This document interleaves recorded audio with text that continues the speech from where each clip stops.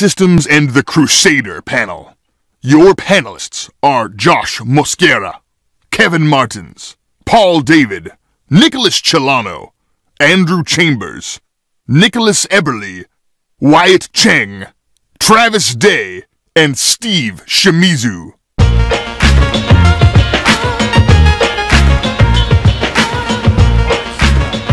All right, good morning, BlizzCon. How are you guys doing? I brought the whole gang with me today because there's a lot of you guys out there, and we have a lot of really cool things for you guys today. So what are we covering today? This is the gameplay panel. So yesterday we talked a lot about some of the big new features that you can expect with Reaper Souls, Adventure Mode, but today we're doing a deep dive on a few of the very core things that are at the heart of Diablo. And those start with epic heroes. So the guys here are going to talk to you guys about the Crusader, our knight in battle-scarred armor, what was our process behind how we came up with his, with his skills, his look, how we fulfilling that fantasy. But the Crusader may be the star of Reaper of Souls, but all of the five classes are getting brand new skills. And Wyatt here is going to talk to you guys about what you can expect. You guys are also going to learn which of the five classes is Wyatt's favorite. So.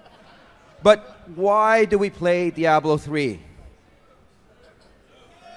Loot, right? At the heart of the Diablo experience is killing monsters and finding those awesome legendaries.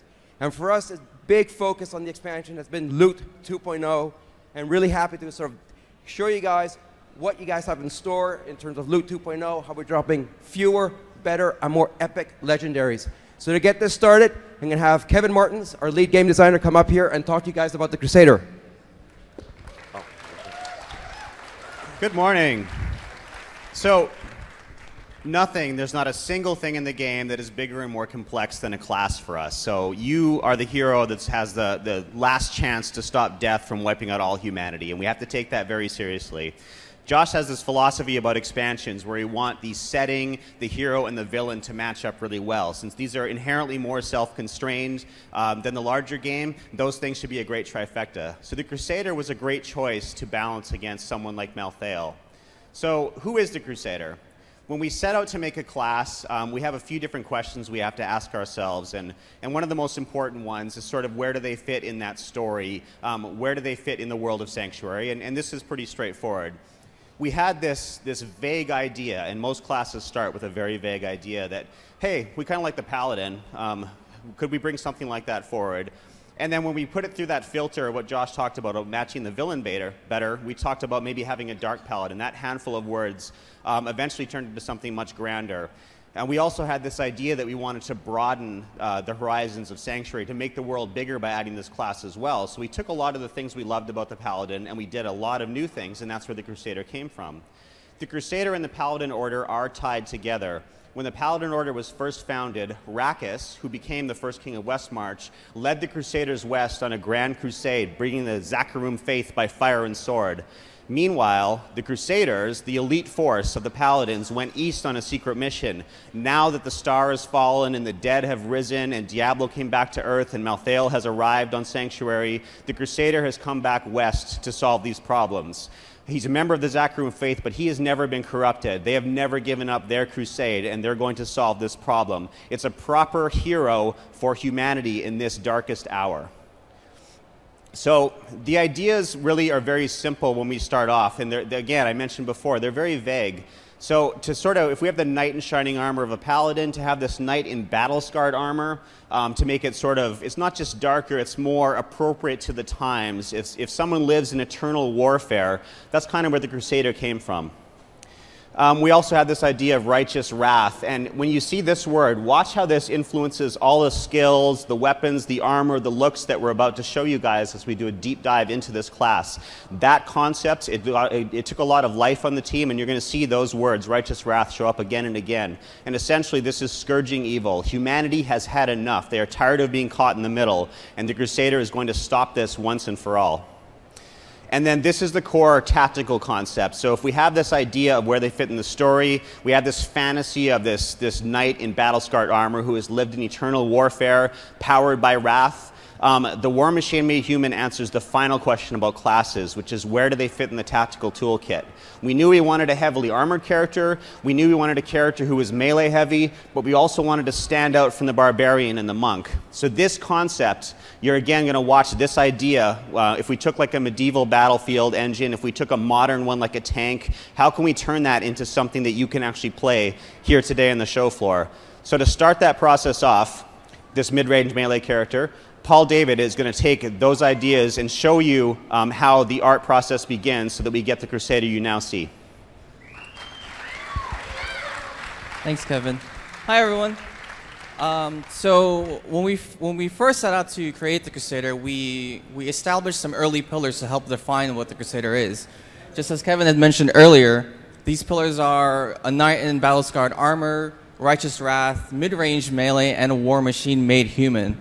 But what do these pillars mean? How do they help define the Crusader? And how do we visualize these ideas? Well, to help, to help us answer those questions, we, we brainstorm. And brainstorming allows us to gather a bunch of different ideas to help, help us you know, imagine what these pillars are. Uh, the, the next slides I'm going to show you guys are a few examples of what came from that brainstorm session. Here we have a concept that focuses on shape language. Shape language is the overall simplification of the major elements down to basic geometric shapes. In, in this particular example, the rectangular shapes help, to, help reinforce the idea of a heavily armored knight. Here we have a pair of concepts that really focus on the shield. Up top, the shield takes center stage, suggesting the shield is a very important extension of the character. Down below, we have a, a skill concept that, that depicts a shield being used as a melee weapon, you can see the Crusader leap up in the air and come crashing down on his enemies. And here we have a plethora of armor designs. In this image, the, the artists explored the many different ways you know, uh, an armored knight could look like. There's also some play with some of the cloth, as you can see. And the cloth is there to represent the idea that the Crusader isn't, isn't purely melee, but he's also able to do some uh, magical abilities. At the end of the brainstorm, we gather all the ideas, all the elements, and we pick and choose the ones that really help support the pillars that we had established early on. These are the big, you know, the big bulky armor, the, the cloth element, the shield, the flail, and we take all those into concepting.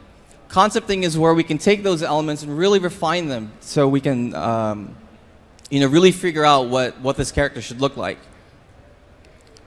Here we have a concept that, that incorporates the heavy armor and, and cloth elements.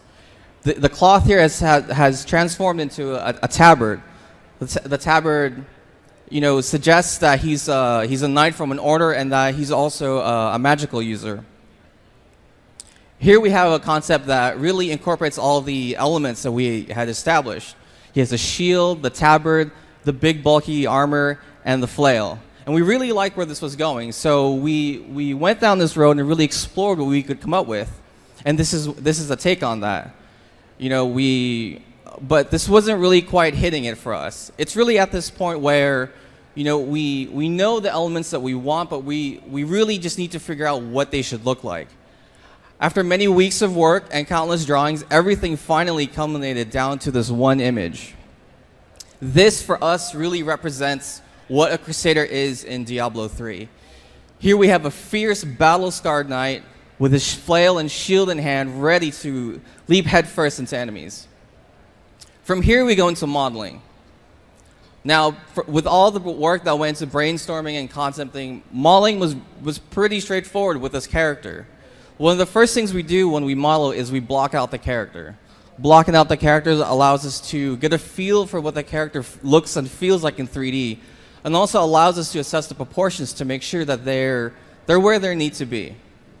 Once we're pretty happy with you know, where everything is, we go into just straight up production. Here we can see the, the final gray model on the left-hand side. And on the right-hand side, you can see the many stages of texture completion. Once we're at this point, we, we know we polish, we make the weapon, and we make the shield, and we have the final asset in-game. Now, before I hand it off to our lead animator, Nick Chilano, to talk about animations, uh, here's a sneak peek at some of the armor sets you guys will be able to find for the Crusader in Diablo 3 Reaper of Souls. Thank you. Hey everyone. Thanks, Paul. So, character and concept have really laid a great foundation for the Crusader. They've taken these key words medieval, mid range melee, uh, squared, um, a character that will hold his ground, and they gave it a face. Now it's the animator's turn to bring it to life. And we start with an idle pose. That idle pose is really going to capture the tone of the character. We started with, with this right here. Now, what we like about this is there's these squared shoulders and this broad chest. He's, he's militant and stoic, and he is not scared of the enemies in front of him. In theory, this is actually really great. We really dug this. But in practice, we ran into some issues. You're going to see here that he's going to go into dynamic action, but then he's going to hit this very rigid resting pose. It's causing visual noise, it's distracting to look at. So we got to kind of rethink this. The good news is that we can take this pose that hits a lot of these core elements of the Crusader and apply it to his town idle. So when you're talking to a vendor and you're in town, you still capture that element of the Crusader that we want. But now in game, you're more battle ready. Here, even without his weapons, he's a square, uh, mentioning the uh, shape language Paul talked about. And when you put it in practice, it flows much better. Now it's fluid, it's dynamic, you're not distracted, and it feels really good. Once we've solved this issue, we can continue to animate more of his locomotion and his base moves and more weapons. But this time, we actually got asked to get involved in something that was new for the animators, which was the signature weapon. Now, when you started seeing the concepts of the Crusader with the shield, we always knew that was going to be a big part of them. But the flail really struck a tone with the team. It was medieval, it was mid range melee, and it was very physical for a weapon. When it got in game, though, there were some issues with it. As you can see here, this is not reacting well at all. Uh, it's, it's just all over the place. It's got a mind of its own. So, what we end up doing is we focus a lot of time now to make it feel right. Every, every click, every time we change gravity, physics, weight, or material, we have to then click 100 times to see how it reacts. And what you learn is it's not about the action, it's about the reaction. So it's what the, the flail does after the movement. And I remember we had a meeting, and I went in there and I was talking to my art director and some tech leads, and I believe Andrew was there. And I said, All right, guys, we're either going to fail or flail. All right, I won't, I won't quit my day job on that one. I won't quit it. Um, but we ended up with something really good, and you'll see when you play it on the, on the showroom floor and in more videos that you won't even notice it. Uh, it's because it's, a, it's working how you expected. Now, finally, we get to the meat and potatoes for the animators, and that's the skills. Every hero has a style. The, the barbarian is very consistent. The monk hits and holds. And the crusader has a bit of a build up to his animations. I'm going to show you a shield bash, and it's slowed down. And what you're going to see is you're going to see a character who really gathers that energy in the back, holds it, and then explodes forward. It's very physical, it's very powerful and it's going with the line of action for the skill. Here at full speed, uh, you'll just see how powerful it really feels. The timing feels right. We're giving enough hold so that when he hits, it's really impactful. And this is when you get character, concept, animation, effects, and design really working together. And you get skills that feel really good, they're really fun, and they look really awesome. Now, to talk a little bit more about designing the skills for the Crusader is our senior designer, Andrew Chambers. All right. How you doing, BlizzCon? You liking what you're seeing? Yeah. Nah, it's not loud enough. Louder. Yeah. Love it. I love you guys so much. You know what? Afterwards, if you see me on the floor, just come up and give me a hug. Just hug me, especially you, because I love those big bear hugs. You know, just come up and give me some love. All right, so it's looking fantastic, right? These amazingly, phenomenally talented artists bring words on a page into life on a screen in an amazing way. So special to work with these guys. On the design side, our challenge is figuring out how does this guy play? You know, when you're clicking the button and like slaying evil, what's the tempo behind it? Is it like smooth jazz? Or is it hard drum and bass? So we knew straight away that he had to be a melee character. He's this big guy in armor with a shield and a flail. There's no way he's walking away from a fight, and he likes to be up close and personal. But we can't just add another melee character to Diablo 3. We have two very strong classes in the Barbarian and the Monk that really own that space really well. So for the Crusader, brand new class for Reaper of Souls, we gave him the ability to have some strong range component to him. A lot of his skills have the ability to slay from afar. Part of the key for that was allowing him to be powered by this righteous wrath. Wrath is your resource. It ambiently generates even when you're not in combat because he's so mad that there's so many demons out there and he can't get to them yet. yeah. But at the same time, he can generate it with his primary. He spends big with his secondary skills like Shield Bash that you just saw. But the great thing about it being Wrath is it's not necessarily physical. It's this mystical power that he has inside of him, and he can choose to unleash it in any way, shape, and form, and he does. So now that we have the me the melee and range thing established, how do we like explore that? We start with some skills. This is slash and shield bash.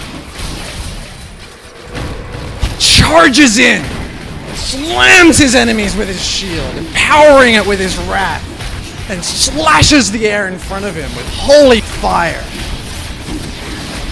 Very melee.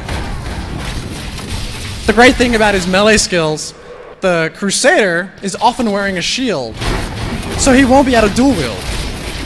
That's okay, because for a lot of his skills, they're very AoE oriented, which actually makes up for the fact that you can't necessarily uh, flail around really fast, but you can hit lots of monsters at the same time.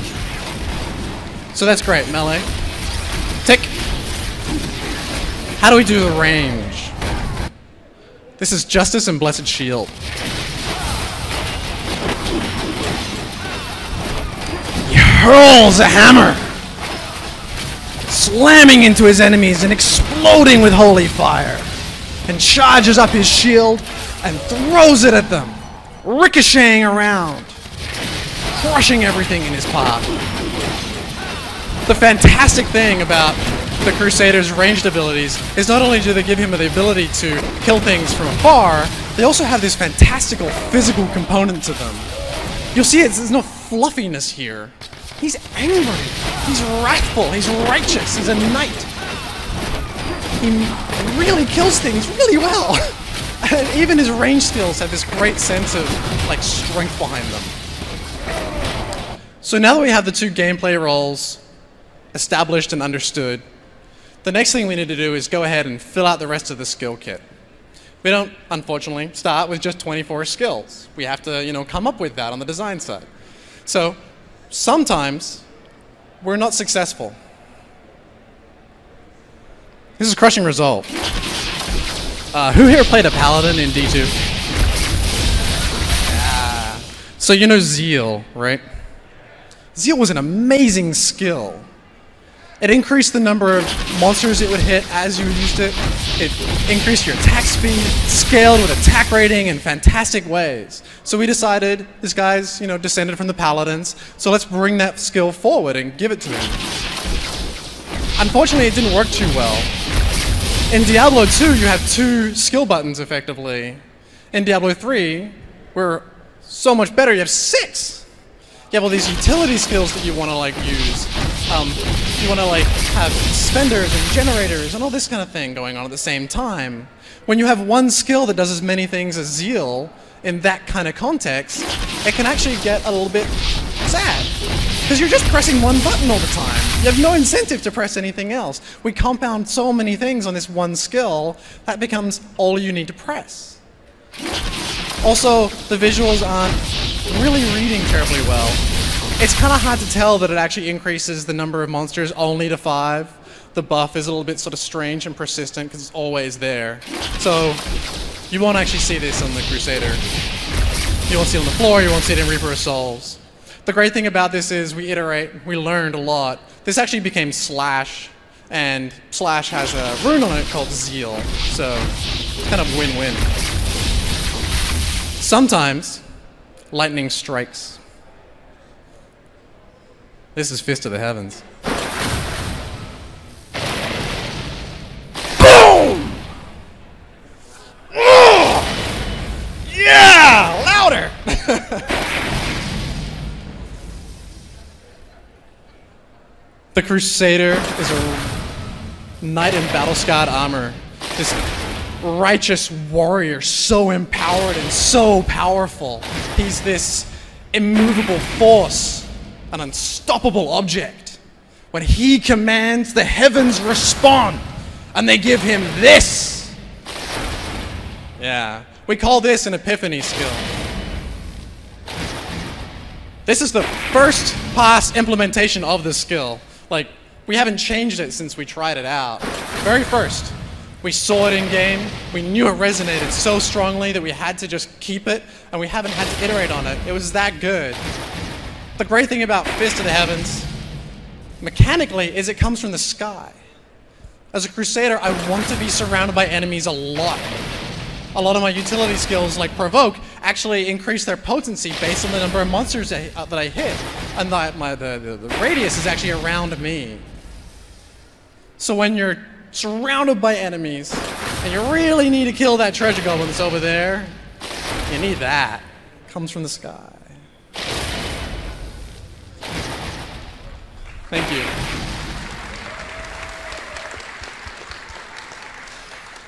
So up next is Nick Eberle, technical artist, to take you through even more iteration of our skills. Thank you very much. And you a big guy, don't forget the hug. Oh, that one. Yep, there we go. Hi, everyone. So the first thing we do when we're designing a new class on Diablo 3 is we ask ourselves the question, what's the fantasy for this character? So we brainstorm and come up with all kinds of different ideas and fantasies we want to see for the Crusader. Uh, so I'm going to show you today kind of how I take those fantasies and bring those to finished skills. The first skill I'm going to show you is called Heaven's Fury. The fantasy we started out for this was we wanted to see the hand of God reach out and destroy the Crusader's enemies. And we thought that sounded really cool. But then we had to figure out, well, what does that do? And you know, what does it look like? So this is the first version of Heaven's Fury. Mechanically for this, you would right click and drag out a line, and then these beams would come raining down, you know, destruction on the battlefield. And you know, visually we liked it. We thought it looked pretty cool, but it had it had some problems. It was it was really loud. Like if you were in a multiplayer game and your buddy was casting this, that's all you saw. So it was kind of annoying. So we, uh, kind of kept making some revisions. For this version, the, we had the beam chase the mouse cursor around, and we really liked the way it looked. We thought it, you know, it felt really powerful, but didn't take too much space up on screen. But mechanically, it was a little rough. We didn't like having a channeled skill for the Crusader. Know, we want him to be able to move around and you know hit things. So we thought, well, what happens if we gave you know the skill its own AI? So this is our final version of Heaven's Fury. You can see you, you right click, the beam goes out, it chases down monsters, leaving the Crusader free to smite his enemy, throw his shield at him, while Heaven's Fury melts faces.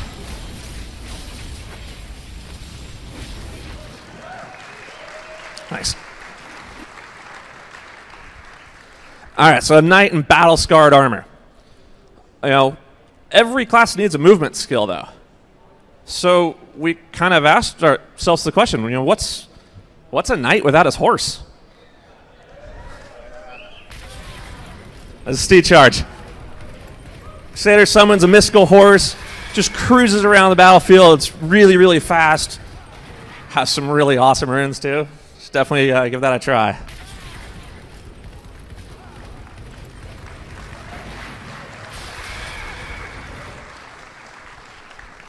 War Machine made human. So we talk about the Crusader being like a you know big Abrams battle tank. And, you know one of the coolest things about a tank is you know the big gun on top. So we didn't want to give the Crusader a gun. That's that doesn't fit his kit. But we asked ourselves the question: Well, what if he was the artillery shell in that cannon. This is Falling Sword. Xander jumps up into the air, crashes down, doing tons of AoE damage. Really helps him get into the fight, if there's anything left, when after that hits. A lot of times there's not.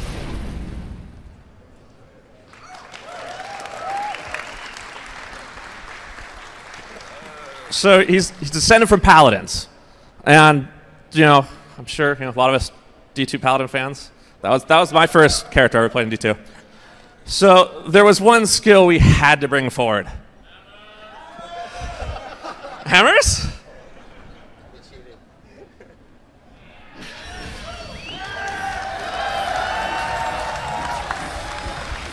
So really an iconic skill for the paladin, and you know we had to bring that forward to D3.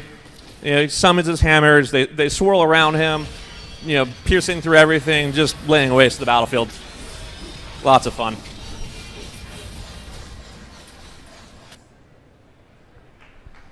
All right, I just want to show you a little video of the Crusader. It's got a bunch, a uh, bunch of new skills. There's some, some runes in there if you're, you know, if you look carefully. Here we go.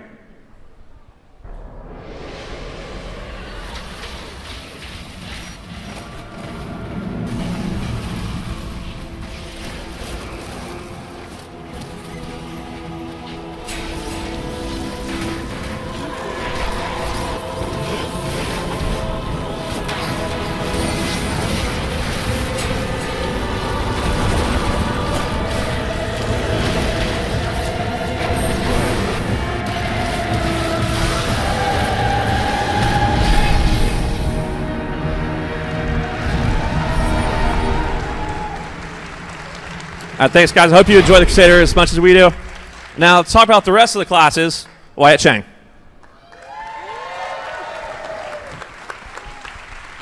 Thanks, Nick. Hello, BlizzCon.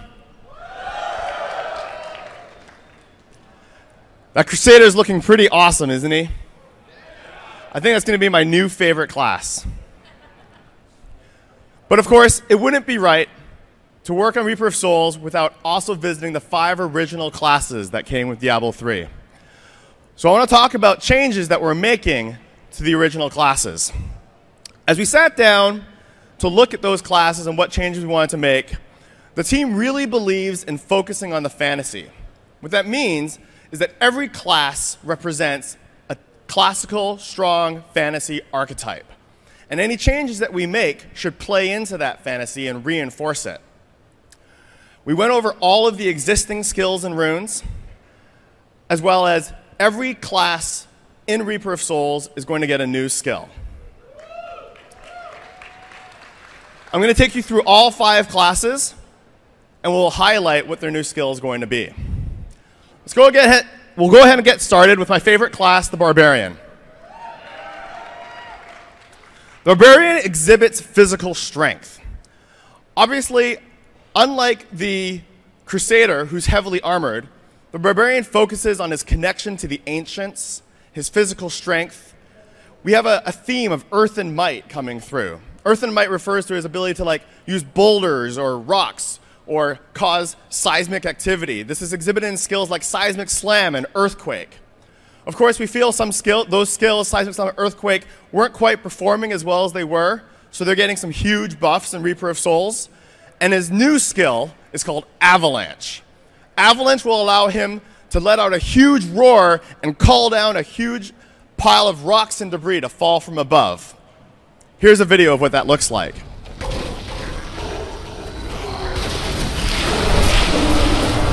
Avalanche is currently on a 30 second cooldown in internal builds, but the way we have it set up is the more fury that you spend, it reduces the cooldown on the skill. So if you have a build that spends a lot of Fury, you can actually use Avalanche more often.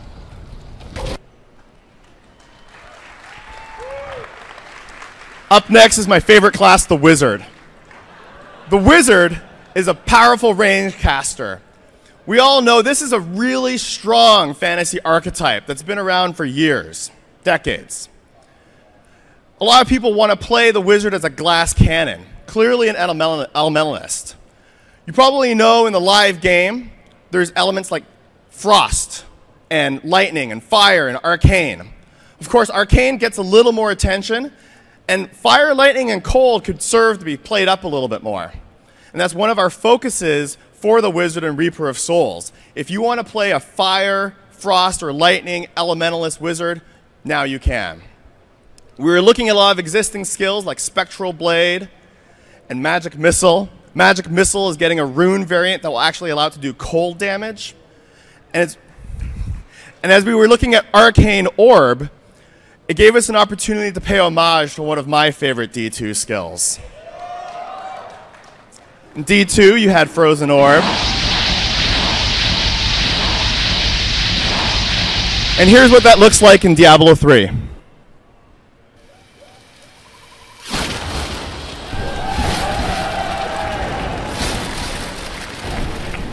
But as promised, every class is also getting a new skill, and the wizard's new skill is called Black Hole. Black Hole uh, pulls in all the monsters, CCs them, and deals a huge amount of damage in that targeted area. This really allows you to play up that fantasy of being a ranged glass cannon. You can use crowd control skills and still dish out a lot of damage. And nothing sets up the perfect meteor better than Black Hole. Yeah.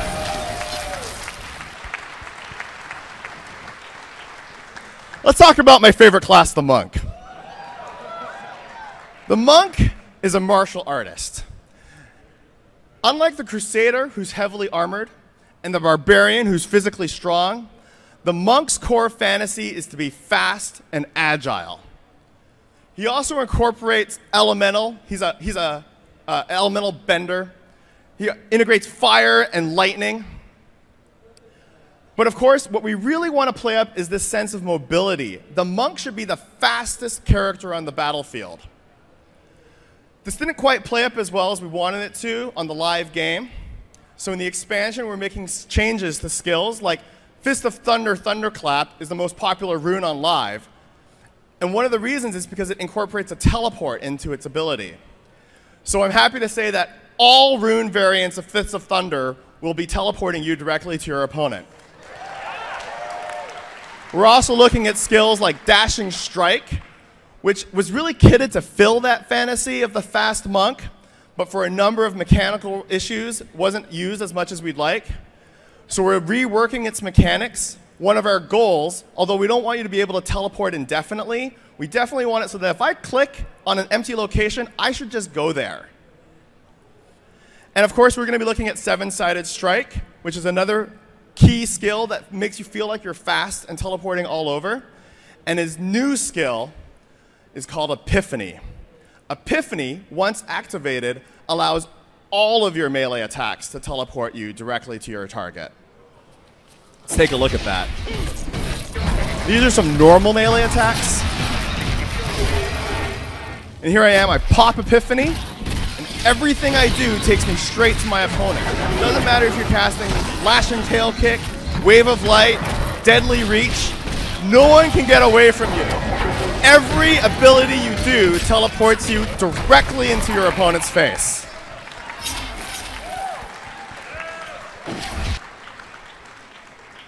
Oh, my favorite class, the Demon Hunter. The Demon Hunter's fantasies are clear ranged weaponry, a deadly assassin using shadow energy and traps. One of the fantasies of, the, of this trap, you know, demon hunter wasn't played up as well as we thought. Skills like spike trap get used more as ranged damage dealers than a trap. So we're looking at skills like spike trap and sentry. We really want players to be able to play in a way where they say, hey, you know what? I want to set up a little, you know, my home, my nest, and lure enemies into it and have them all just, you know, mercilessly die. But at the end of the day, the Demon Hunter is a ranged class. And her new skill will play into that. The Demon Hunter is getting a skill called Vengeance, which allows every single attack you do to fire off even more ranged weaponry. Let's see what that looks like. I pop Vengeance, and now every attack I do fires additional shots. You got rail guns out the side, rockets coming out in all directions. Pew pew pew! Pew pew!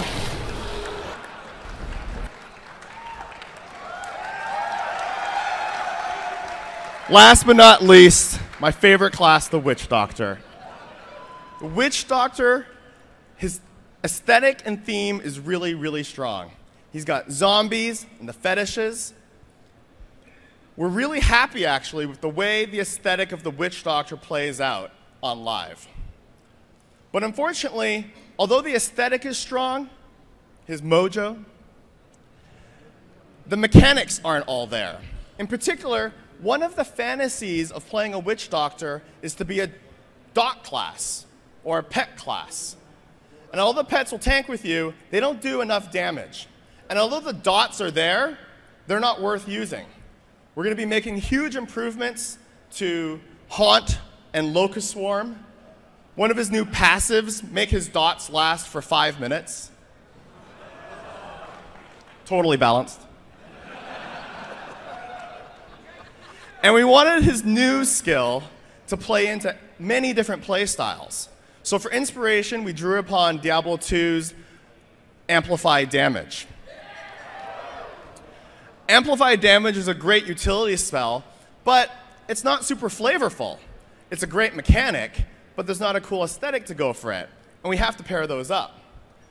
So I was talking to our, uh, one of our lead technical artists, Julian Love, and he was saying, you know, he's got all these cool creatures like the bats and the frogs. I mean, when it comes to voodoo creatures, how far can we push this? Can, could we do piranhas? Why, yes, we can. You can actually see the piranhas stuck to the monster. As a visual indicator, it's not just awesome to look at, it lets you know that's a damage that's a monster affected by the amplified damage effect. That monster is going to take more damage from all sources. Of course, this begs the question what lies below the surface of the water.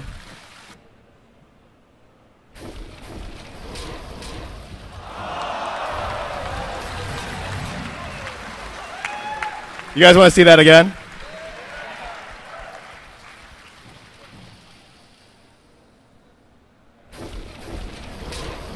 Yeah.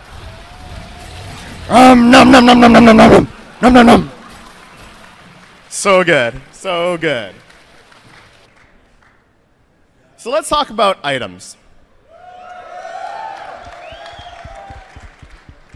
One of the requests we got a lot for items is a way to modify the items that you find. So the new artisan in Reaper of Souls is the Mystic, which will allow you to do exactly that. The Mystic allows you to modify any item that you find in one of two ways. You can either change the way it looks, or you can change, and you can also change a property on an item. Transmogrify allows you to take your Crusader who may look like this and look like that.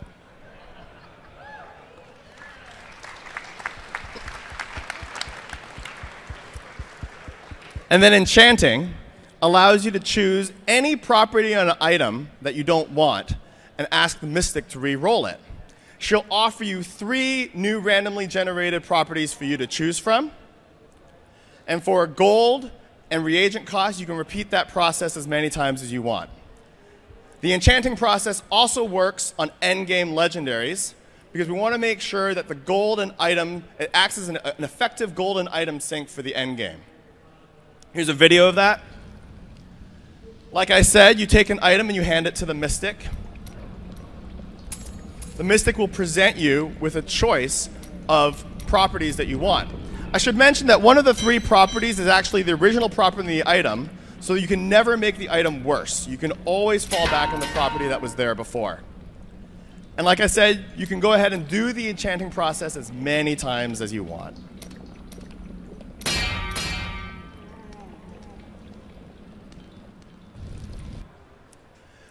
And to talk more about items, I'd like to bring up our game designer, legendary game designer, Travis Day.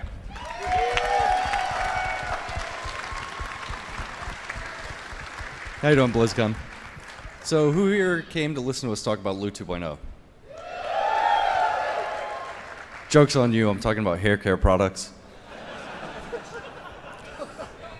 So, going into Reaper of Souls, uh, we sat down and we talked a lot about the things that we liked with our item game, the things that we maybe wanted to, to improve upon, uh, and we came up with really three big philosophy changes that we wanted to make moving into the expansion. The first one was less is more, items support builds, and rarity equals power.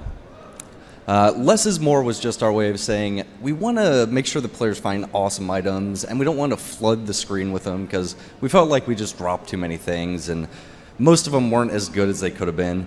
Opening presents is supposed to be fun, but when you've opened up 20 pairs of socks, it gets pretty disappointing.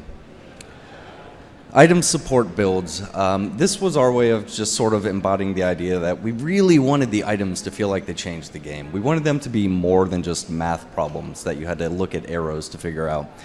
So going into the expansion, we've added a lot of new affixes and legendary effects to sort of embody that.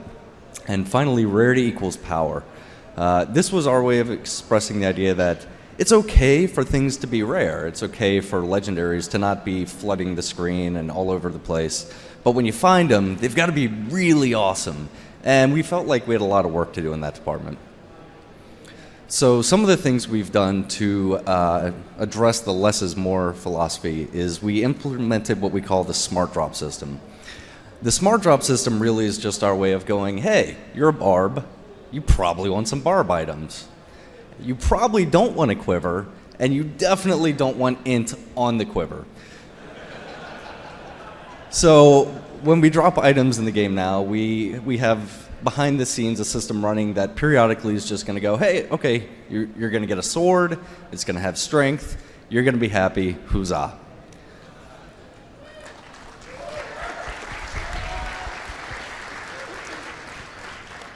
Another thing we did to help with dropping less items and making them better, um, we reduced the random range on our affixes. If a lot of you remember back uh, when we shipped the game, you could find items that had 100 strength or 1 strength. And we kind of went, that's a little bit excessive. We don't need it to be that random. We love random, it's at the heart of Diablo, but there's degrees, and we can narrow that down some. So instead, you'll find things in make believe number land of 75 to 100 strength. So you can still find things that are better or worse than what you have, but they won't be offensive. Uh, one of the last things we did to sort of help with the less is more philosophy, um, we sat down and we talked about a lot of our stats. And we did this for a while. We said, you know, there's some great stats in our game, and then there's some others that are not so great. Um, and I love finding pickup radius, and I love finding bonus experience and wearing it but I'm not going to wear it instead of strength or crit or attack speed or whatever other number of trifecta stats. So we said, hey, what if instead, what if we just break these stats out? What if we acknowledge that these stats are cool, but they're not going to help you kill monsters better? So what we did going into Reaper of Souls is we've separated the item stats into what we call primary and secondary. And any item is going to have a fixed number of primary stats and a fixed number of secondary stats. So you can have Magic Find, but it doesn't cost you crit.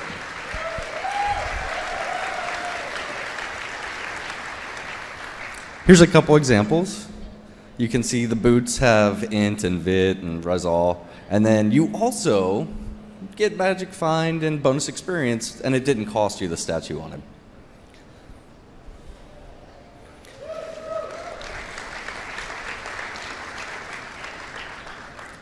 Another thing that we wanted to address moving into the expansion was we wanted the items to really be exciting. We wanted you to find items and go, holy crap, I'm totally going to change my character for this.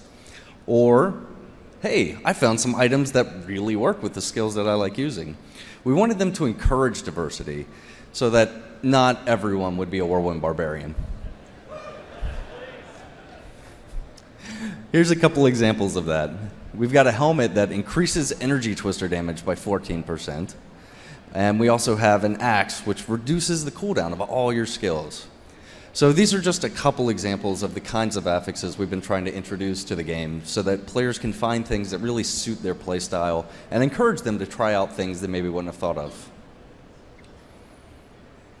And finally, rarity equals power. This was really just our, uh, our sort of notion that we've got this item progression, and it makes sense for most of the game. You go from gray items to white to blue to yellow, but then it starts to get pretty fuzzy when you get to legendaries. Legendaries are really hard to find in our game, and we used to get a lot of feedback like, man, why are legendaries so rare? I never find any. And what the people were really saying is, why do they suck? Why can't they be better? So we wanted to sort of deliver on this fantasy that the harder it was to find something, the better it was going to be. So it felt like it deserved to be as rare as it was. Uh, and to talk about some of the specifics of what we're doing with Legendaries in the expansion is lead gameplay programmer Steve Shimizu.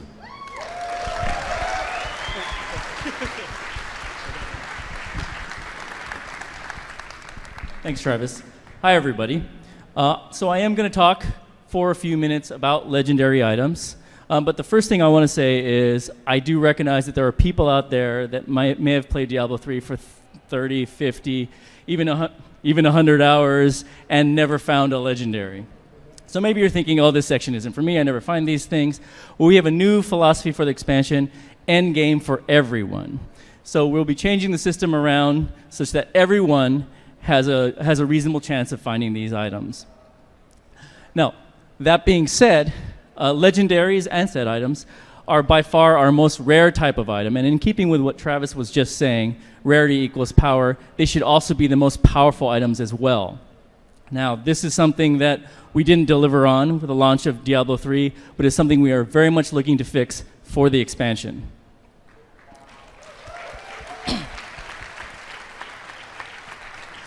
So, specifically, what are we going to do? How are we going to fix that?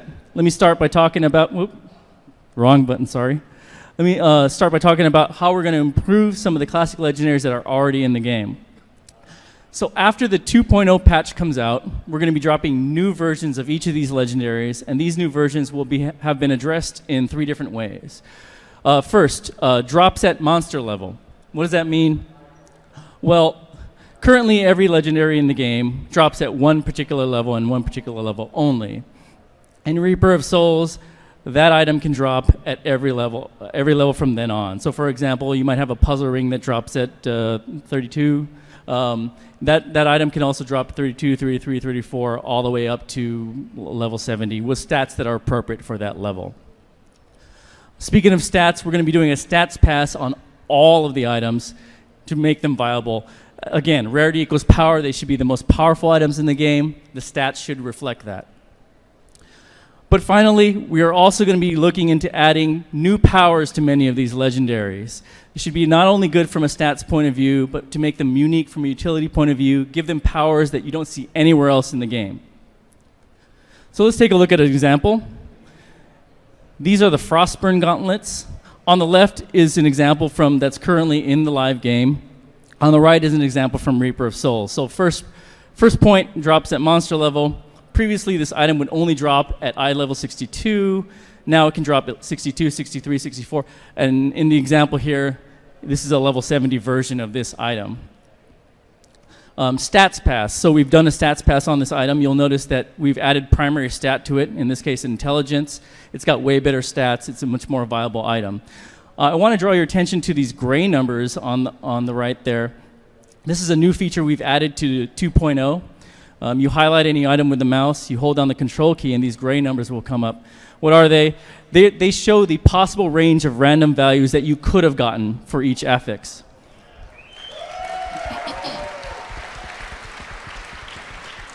So, so this is something we added because you know we want people to understand the items better. We want everyone to be able to understand you know sort of the item space and what's going on there. Um, but I, I brought uh, I show these up here because I wanted to point out intelligence, and in the worst possible case, in the worst possible roll you could get is 750 intelligence on this item. So it's still really really viable viable item even even if you get a really bad roll on intelligence. And this represents a philosophy shift in that you know, if you're lucky enough to get a legendary item, you shouldn't have to be extra lucky on top of that multiple times in order to have a viable version of it.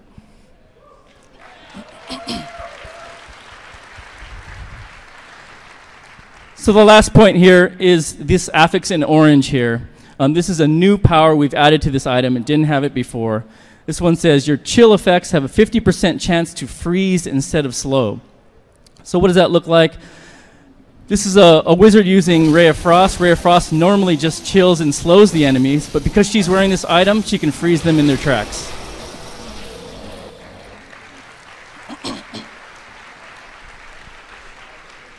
So really, this is where a, a, large part of our item development is going for the expansion, is into the creation of these new affixes that change the way that you play the game.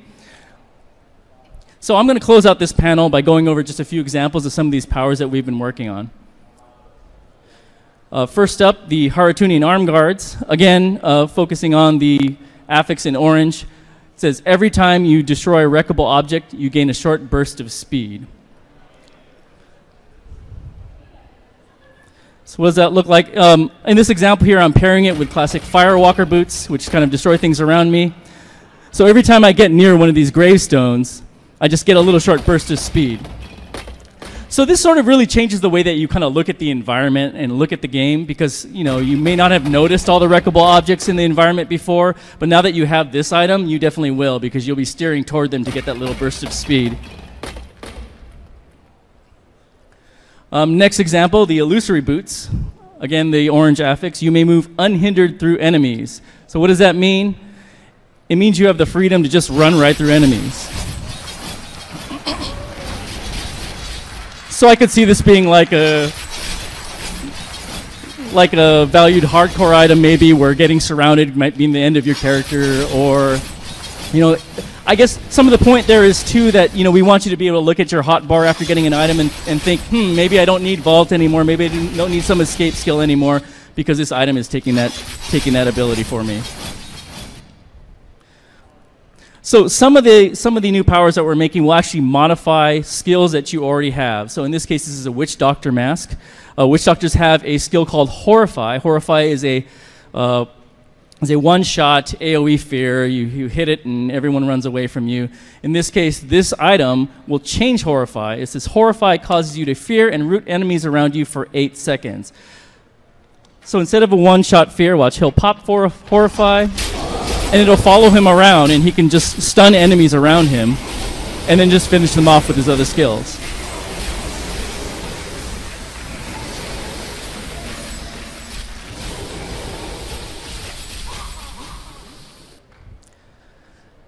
So,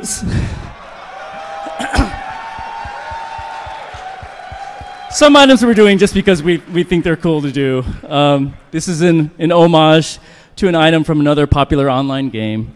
Uh, this is what it looks like in our game.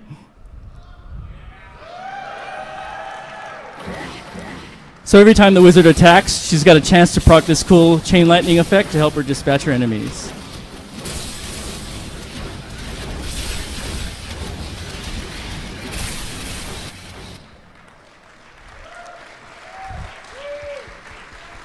So my final example uh, is a set item example. Now we recognize that set items are going to be among the most difficult and the most rare to, to get the powers from because you need multiple items of the same set. Um, but in keeping with rarity, what rarity equals power that Travis was talking about again, uh, we're saving some of the be better skills for uh, set item bonuses this time around. So in this case, this is a, a Demon Hunter set um, with a temp name, don't worry. Um, and uh, the two set item bonus is your spike traps lure enemies to them. So this really increases the utility of spike traps. So now you can really control where they're going. You notice every time she sets a spike trap down, it'll taunt the enemies to it.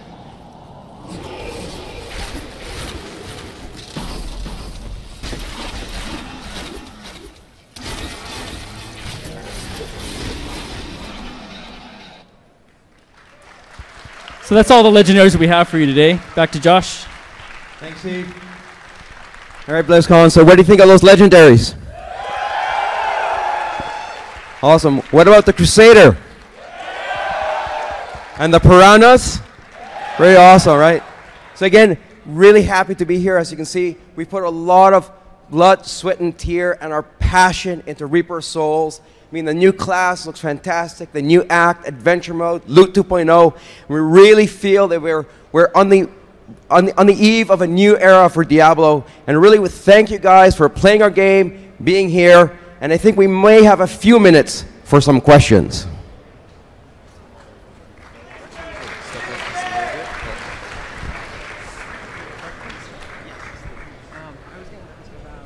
Are we good to go?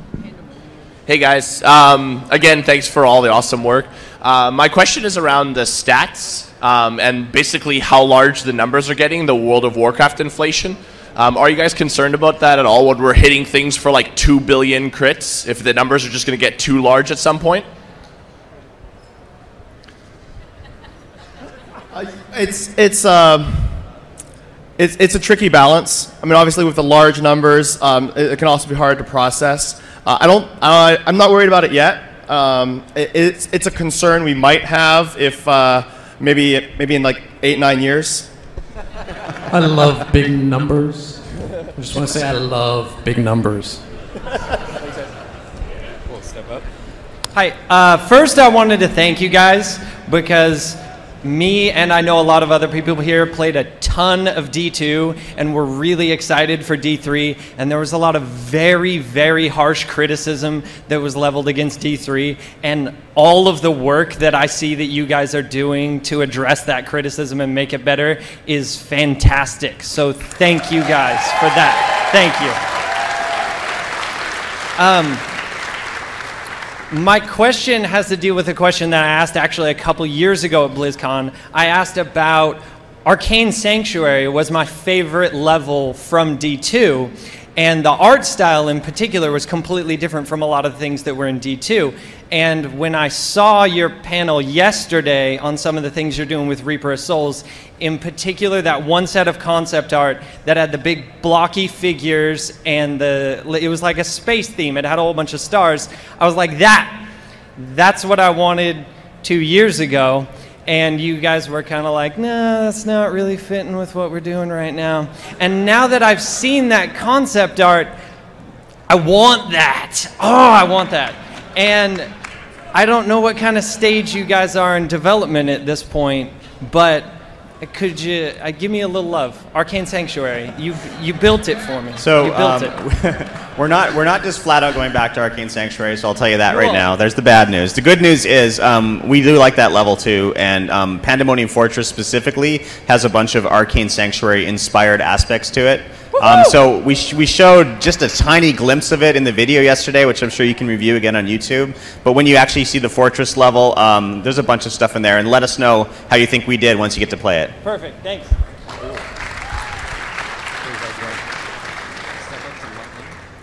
How you doing? Uh, one of the coolest things in Diablo 2 is when you had every set item, your appearance would change for some of those sets. Um, any plans in Diablo 3 if you get every set item to give some kind of aura or an appearance change, so everybody, so you know and everybody knows you have every set item? Right, right? Um, we haven't talked about anything like that yet. Uh, it's not a terrible idea, though. It could happen. Um, no promises, but um, we're really putting a lot of our focus right now onto trying to get the set items to just feel like they were worth the effort they took to get. Um, so we're trying to make the bonuses as crazy as possible without breaking the game completely. Um, one of our mantras around the office has been game changing, not game breaking, um, with our items. So it's it's totally possible that we could add visual components to some of the set bonus powers. Um, I don't know that we would necessarily want to take that and apply it to everything in the game, um, but it's not impo- totally impossible. I, I, didn't- I meant if you have if you had every item in that set, not necessarily a visual for just a single item. Yeah, I, th- I think, um, as we were saying before, a large part of our item development budget is going toward the creation of those powers, right? And everything's a trade-off in development. Um, and so, honestly, if it were, c- I understand the coolness of that. I also understand how rare it is, and, and that's why it's cool. But on the other hand, you know, if I had if I had a tech artist's time to do to do that sort of thing, I'd probably want to add another power to another legendary somewhere, and and a lot of people I think would like that too. So it's a bit of a trade-off. It's not something that we're saying closing the door on or anything, but it's something that you know we always have to look at it from a resource point of view. All right, guys. I think we're we're, we're out of time, but uh, the good news is that we have a full hour for Q and A later on today. So thank you for coming, and see you guys in Sanctuary. Thank you. Thank you. Thank you.